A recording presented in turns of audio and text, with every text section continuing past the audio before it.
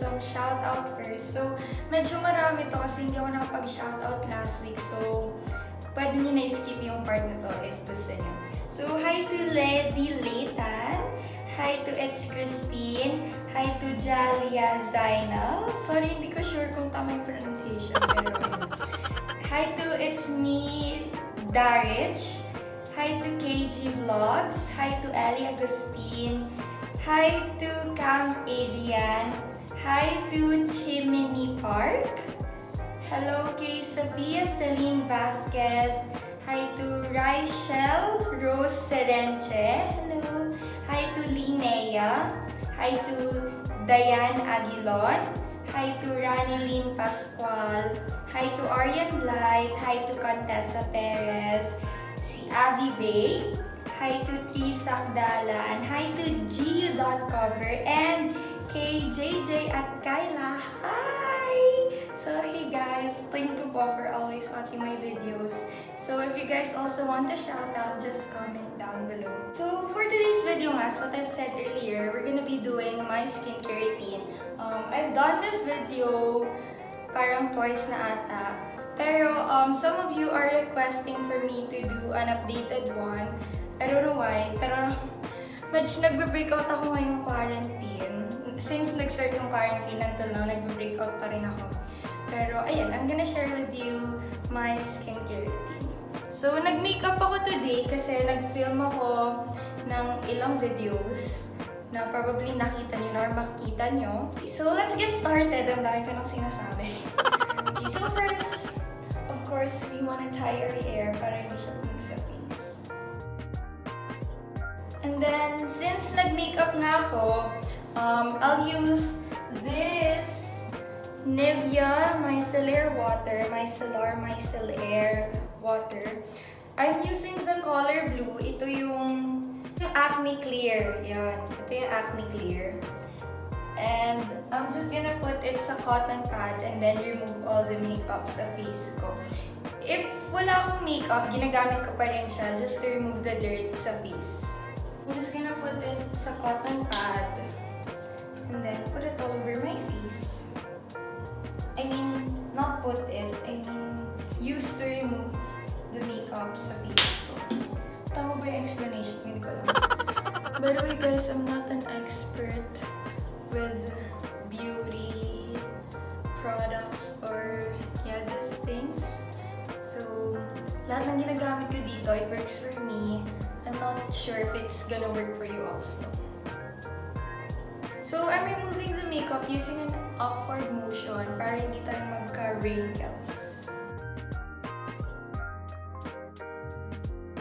So, since nag-foundation ako today, siguro mga dalawa or tatlong pads yung nagagamit ko.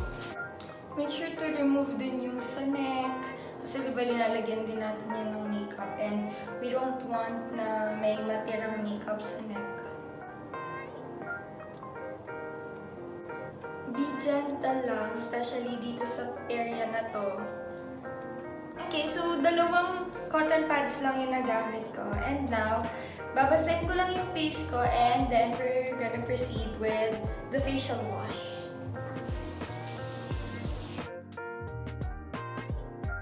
I'm still using the Cetaphil Gentle Skin Cleanser to wash my face.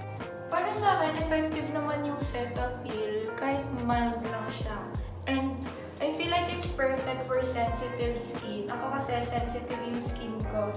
So, kaya iyan lang talaga yung ginagamit ko. Make sure to wash your neck also because naglagay rin tayo ng makeup dyan.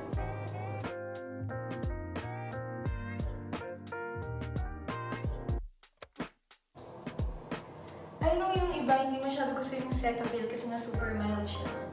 Pero sa akin, it works naman. And then, ayan, ganyan na yung itsura ko. Ngayon, babanlawan na natin. Glass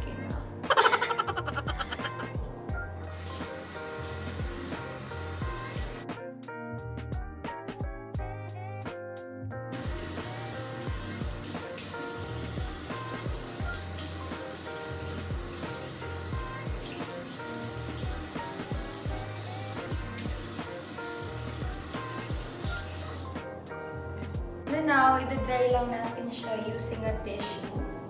Di minsan madumi rin yung mga towel natin. So, mas safe siguro yung tissue. So, pat lang. And then next is I'm gonna be using the Cetaphil Moisturizing Lotion.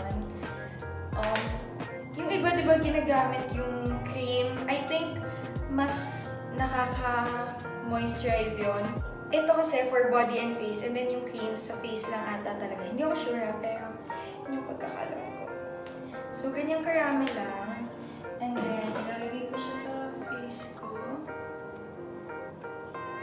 And then, yung neck also, linalagyan ko din siya. And then, I use all my fingers and then use an upward motion. Yan, para nga hindi tayo magka-wrinkles. So, dapat daw iwasan yung pag ganon. Kasi nakakakos siya ng wrinkles and kung ano-ano pa. And ginagamit ko rin yung lahat ng kamay ko para ma-make sure na lahat ng kamay, lahat ng fingers ko, para ma-make sure na ma-absorb ng skin ko yung product. And next, I'm using this Bello Acne Pro Pimple Gel kasi nga nag-breakout ako. So, a little goes a long way. Konting-konti lang talaga. Yan. Kung kita nyo man, ganyan kakonti lang per pimple. So, I'll look at the mirror mo. Pero super sulit na nito guys kasi 169 pesos lang siya. And nagtatagal naman siya.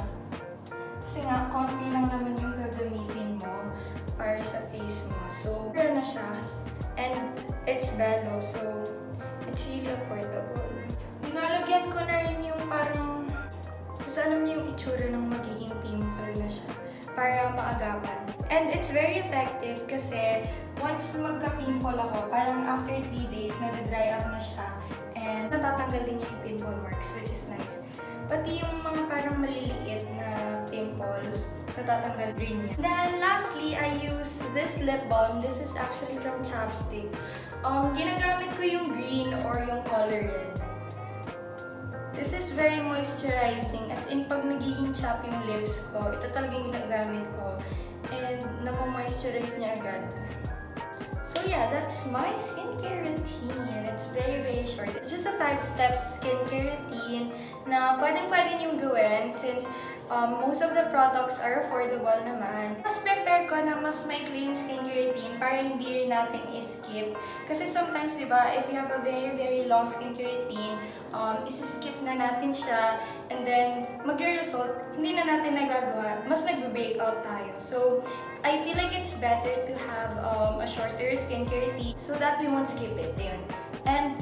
Um, just a disclaimer again, guys, these products works for me. I'm not sure if it's gonna work for you as well. But then, yeah, it does what it has to do with me. Um, if meron man kayong allergic reaction or may mangyari man sa skin nyo na hindi maganda, um, better to stop the product na para hindi na lumala. I'm not sure if I made sense, pero ayun, yun yung mga gusto sabihin.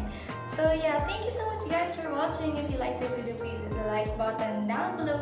And if you want to see more of me, please hit the subscribe button down below and click the notification bell beside it to get notified every time I upload a new video. So this is Mikey saying, don't let your dreams just be dreams. Make them come true. Bye!